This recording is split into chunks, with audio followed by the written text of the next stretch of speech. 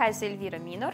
Ich arbeite hier bei der Wiedergeburt des Luzern als Deutschlehrerin und auch als Methodikerin. Ich äh, bin bei der Wiedergeburt schon seit 17 Jahren lang. Ich bin als äh, Mitglied der Jugendclub Diamant angefangen und dann habe ich meine Kinder in Wunderkind hierher gebracht und seit dem Moment arbeite ich hier auch als Deutschlehrerin für Vorschulkinder.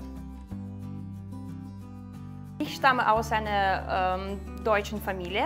Im Rahmen des Spätaussiedlersprogramms sind wir im Jahre 2004 nach Deutschland ausgereist. Meine Eltern, die wohnen äh, seit 17 Jahren schon in Deutschland, in Bayern und äh, ich habe mit meinem Mann äh, zurückgekehrt nach Kasachstan. Es ist so, dass äh, in Deutschland war alles super und ist auch alles super, aber mein Mann, der äh, hat hier ein Geschäft und seine Eltern sind auch hier und ähm, außerdem, ich fühle mich hier in Kasachstan ganz, ganz wohl. Meine Großeltern, äh, die sind aus Wolgadeutschen.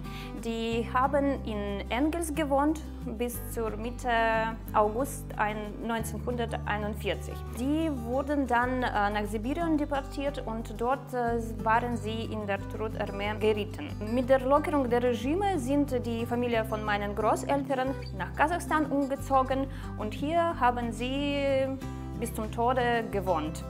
Äh, mein Vater äh, ist auch in Sibirien gewohnt, äh, im Novosibirsk-Gebiet und seine weitere Schwester, die sind hier in Kasachstan geboren. Ich und mein Bruder, wir sind auch hier in Selinugrad geboren. Und dann später, als die Deutschen angefangen nach Deutschland zu fahren im Rahmen dieses Spätaussiedlersprogramms, sind wir auch dorthin gefahren. Als ich noch im Diamant äh, war, habe ich hier meinen äh, Ehemann gefunden. Wir haben uns in Diamant kennengelernt. Wir waren äh, das einzige Paar, der aus Diamant äh, noch eine Familie geworden. Und hier sind äh, unsere drei Kinder, Maximilian, Matthias und Michael.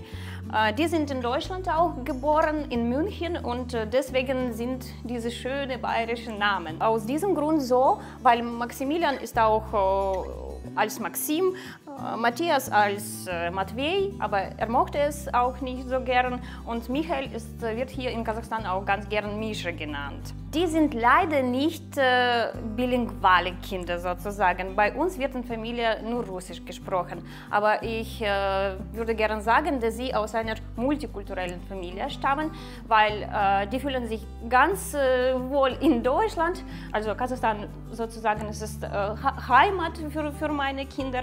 Und wenn wir äh, für lange Reise in Deutschland sind, wollen sie immer wieder zurück nach Hause, nach Kasachstan. In meiner Familie hatten wir, weiß ich nicht warum, äh, keine deutsche Traditionen. Also mein Vater hat mit uns äh, nie Deutsch gesprochen und wir haben auch nicht Weihnachten gefeiert. Als ich erwachsen geworden bin, habe ich mir äh, öfters für die deutsche Kultur äh, interessiert.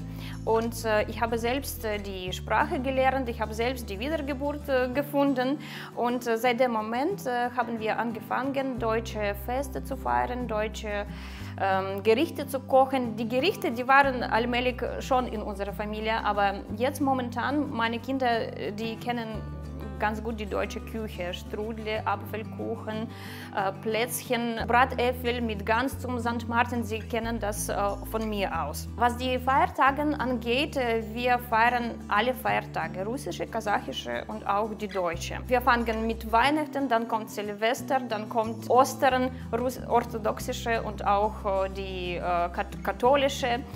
Dann kommt Erntedankfest, St. Martin und alles, alles, alles Mögliche. Die Kasach slowakischen Vinauris äh, und 8. Äh, März, das feiern wir in unserer Familie alle Feiertage immer.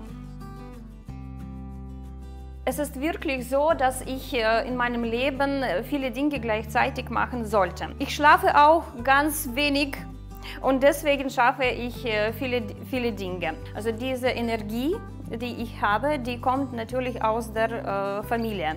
Ich habe natürlich meinen Ehemann, der mir gerne hilft, äh, weil ich mache jetzt auch Studium, ich arbeite, ich lehre die Kinder, ich äh, mache auch Besuche und so weiter und so fort. Das muss ich natürlich mit Hilfe meiner Familie machen.